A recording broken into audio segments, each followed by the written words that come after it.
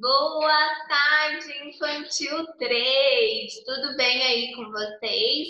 Vamos lá para a nossa aula de sociedade. E para a nossa aula de sociedade, tem conteúdo novo, um conteúdo muito importante e super legal.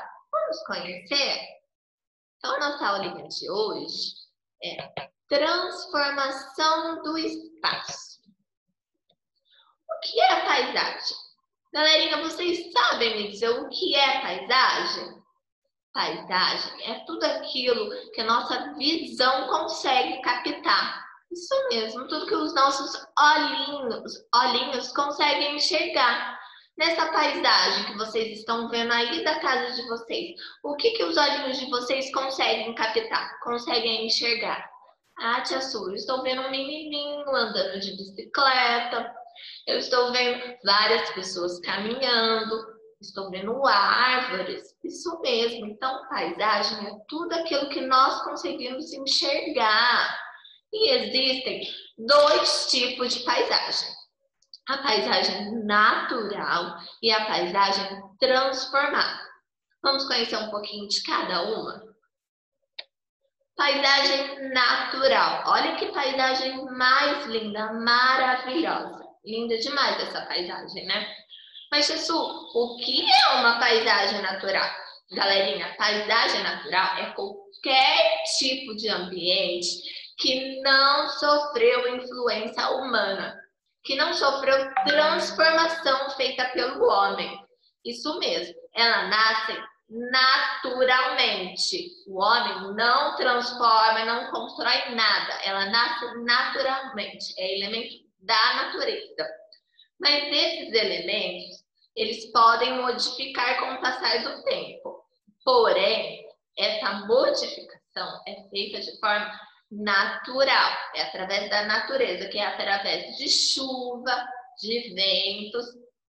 Então, essas são as paisagens naturais. Vamos ver algumas imagens? Olha que linda essa paisagem natural. Temos a cachoeira, a praia. Muito linda a paisagem natural, né? Então vamos lá? Paisagem natural, o que é mesmo? É uma paisagem que não sofreu transformação, que não sofreu influência do homem.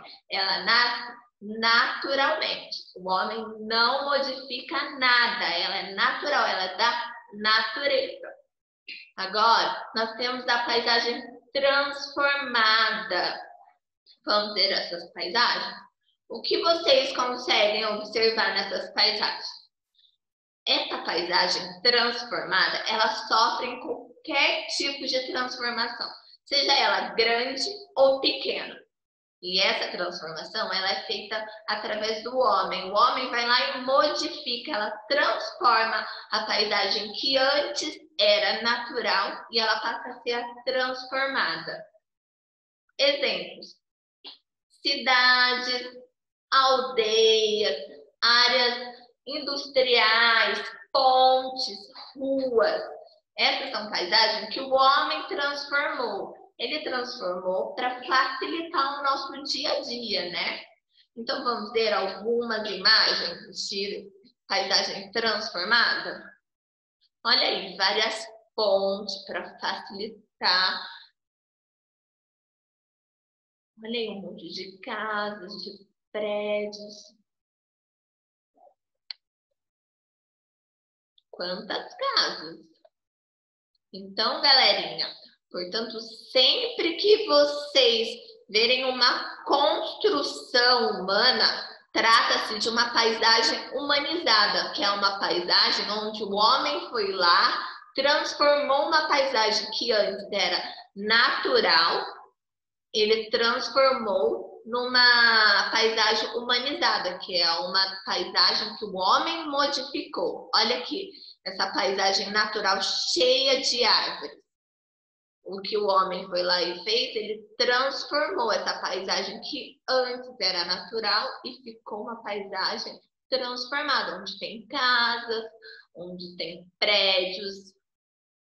Depois que vocês aprenderam sobre paisagem natural que é aquela paisagem que nasce naturalmente da natureza, não é transformada pelo homem. Ela pode sim ser transformada, mas ela é transformada por elementos naturais, que é através de chuva, de vento.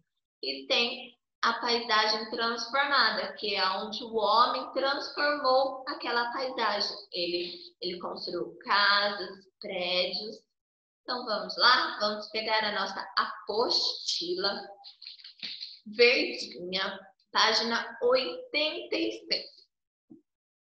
Vamos lá. Marcos está indo visitar o avô. Durante a viagem, notou algumas transformações na paisagem. Observe a imagem e circule conforme a legenda.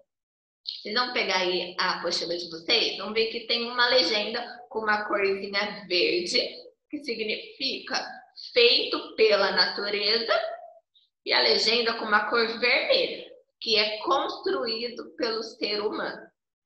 Então, vocês vão observar essa imagem aqui, essa paisagem, e vão circular de verde, pega o lápis de cor verde aí, e vão circular tudo que vocês encontrarem nessa paisagem que foi feita pela natureza, que nasce naturalmente. O que que tem aí? Tem árvore, o que mais?